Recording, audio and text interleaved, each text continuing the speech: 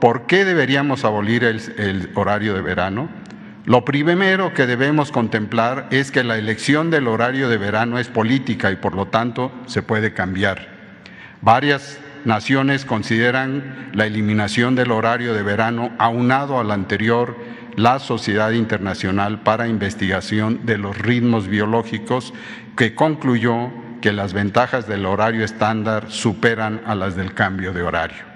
Cada vez más, los estudios muestran que las diferencias de tiempo entre el reloj social y el reloj biológico desafían la salud, la llegan a alterar, por lo que si queremos mejorar nuestra salud, no debemos luchar contra nuestro reloj biológico.